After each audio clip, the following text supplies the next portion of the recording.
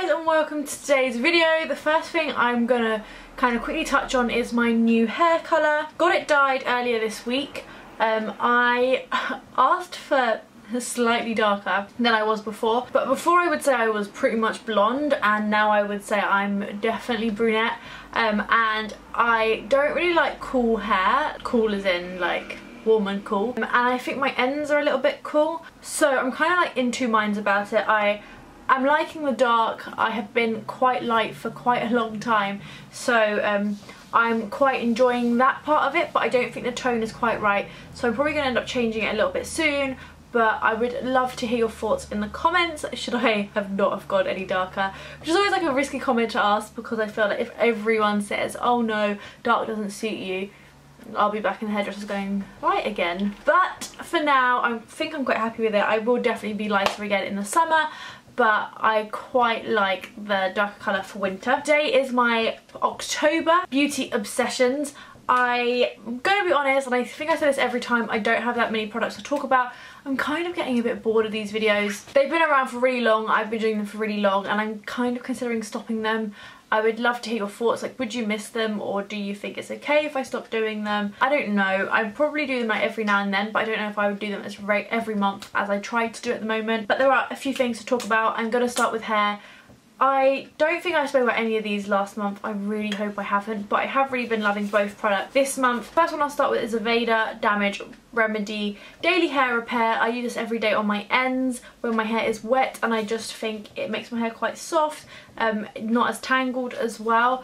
They have got one that you put in dry hair which I haven't quite got into as much just because I pretty much dry my hair and leave the house and I just feel like I forget to put it in and I don't want to put it in my hair when it's just dry because I feel like your hair is not 100% dry until like a little bit after that. And then also in wet hair I have been using the Davines this is a volume boosting mousse. I guess Davines volume boosting mousse. Love this so much.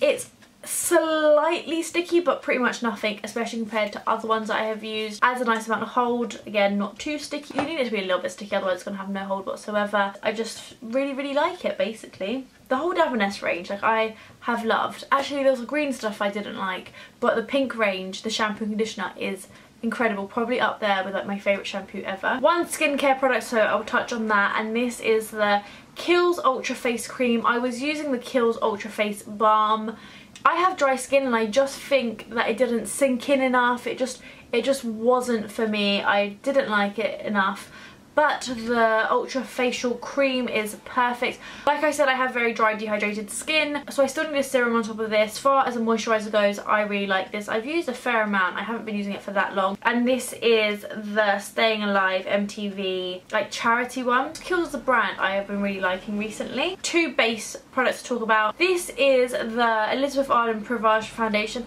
I feel like I've spoken about this in the favourites at some point, but I couldn't find it in my last favourites, I don't think. This isn't really aimed at my age group at all. I think it's a little bit older, but like I said, skin is dry. I need something that will hydrate my skin, and this really does this. It's pretty expensive. I think it's over the £50 mark, but really hydrating.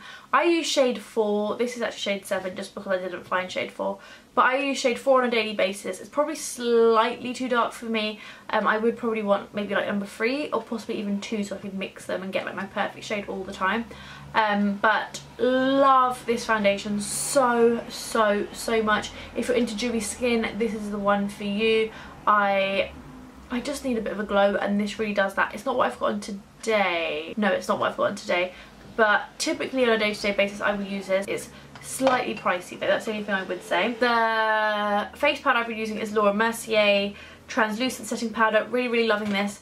Um, I don't think it flashes back too much because I used one today and I sat down in this chair and I had like bright white marks just because of my soft box that I use. This I don't think does that. I really regret not using this today and you get a lot in it and I don't think it's too expensive because I have the By Terry and the Sisley and they're pretty pricey. This isn't that much and I think you get more in this one than you do in the other two and I have been asked just so much about this. Weirdly get so many questions about this. I've never got as many questions about translucent powder but I really really like this and I would highly recommend it. Final two products, I did say this was going to be quick. Current favourite lipstick is YSL Rouge Volupté Shine in 44. It's very sheer, like almost nothing. It's just this really like nude, pretty pink, like dainty, nothing much on your lips, just like a touch colour. I love the smell of these so much. They look beautiful. Like, don't you just want to reapply this over and over? I'm a big YSL lipstick fan generally.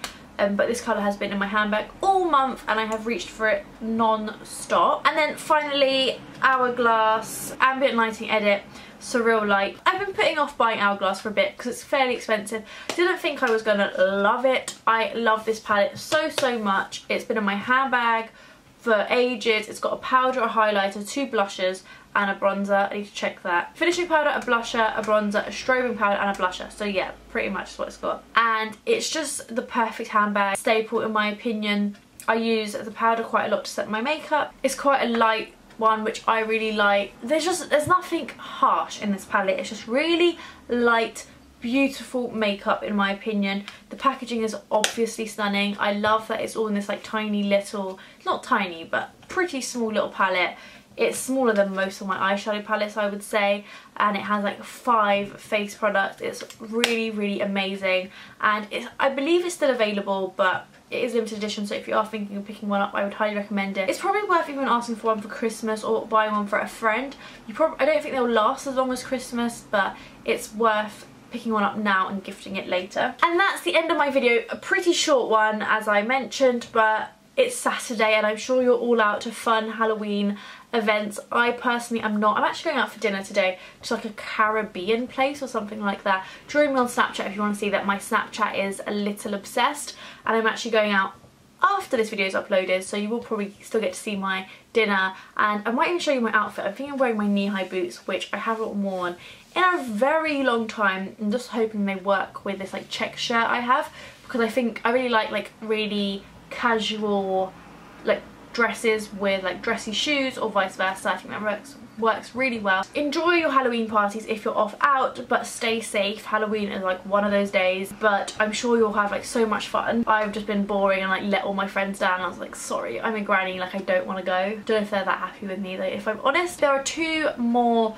Vlogtober videos coming up. One of them is trying on American makeup which will be on up tomorrow at 6pm. On Monday it's the second instalment of Mail Monday which I hope you enjoy. Like this video if you enjoyed this video. Leave me comments and leave me love. I would really appreciate that. Um, I have been loving all the comments I have been getting this month. It's just been amazing. Thank you so much if you're a new subscriber for subscribing and if you're an old one like thank you for sticking by me and still watching. I shall see you all tomorrow in my new video. Bye!